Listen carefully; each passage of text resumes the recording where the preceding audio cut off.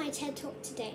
My name is Iona and I want to talk to you about the amount of damage deforestation for palm oil does to this planet. It is undeniable that the population of humankind is increasing.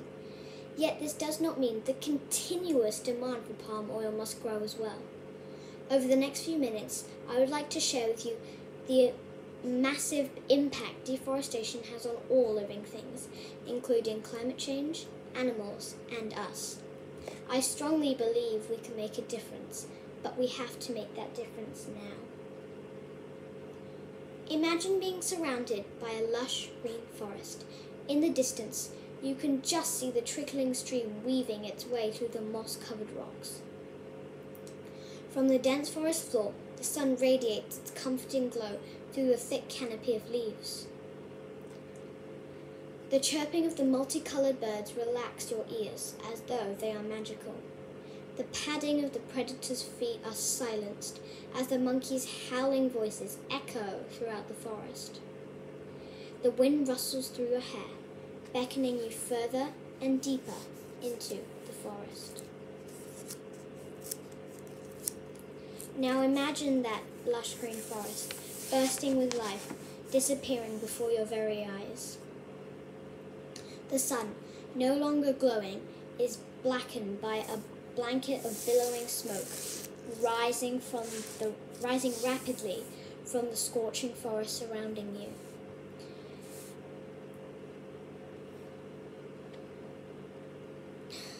The deafening sounds of the predator's feet shake the earth.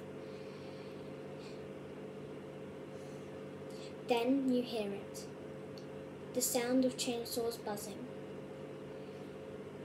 Vigorously, the work is setting fire to the trees, so pure, so innocent. Within seconds, the sounds of horror die down. A mechanic claw encloses you in its power.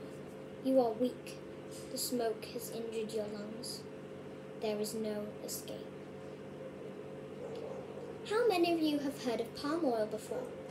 Well, palm oil is an edible oil. Palm oil is, in, is cheap. Palm oil is made from the fruit of the palm tree.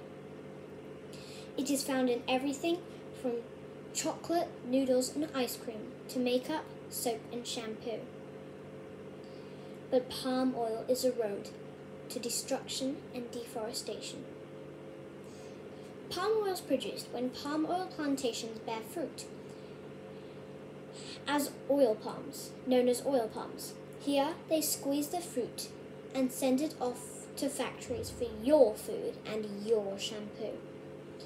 Yes, the human population is increasing by the million, but that certainly doesn't mean the demand for palm oil must grow with it. Do you know how many trees are being cut down as we speak? A rainforest, the size of a football pitch, every single second.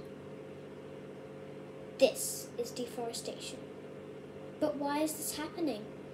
Because of the desperate need for palm oil plantations for your benefit. If this continues, our rainforest will be wiped out within 100 years. We will have no more plant species our animals will become extinct. Between 1999 and 2015, over 100,000 Bornean orangutans were lost. There are only 1,864 giant pandas left in the wild. Fewer than 400 Sumatran tigers roam our rainforests. We can't let this go on. But if we can't stop palm oil altogether, how can we help? Well, companies such as Greenpeace, Mars, and The Body Shop are starting to use sustainable palm oil in their products. Sustainable palm oil? What on earth is that? Well, sustainable palm oil is when the farmers who plant the plantation, the palm oil tree plantations must follow three strict rules. Number one, they cannot harm any animals in any way. Number two, they must pay their far- farmers and workers fairly. And three, they must reuse the land that they have already cleared the forests out of. If we start using sustainable palm oil products, more and more companies will become aware of the situation and start doing the same. We will become we our rainforest will not become extinct.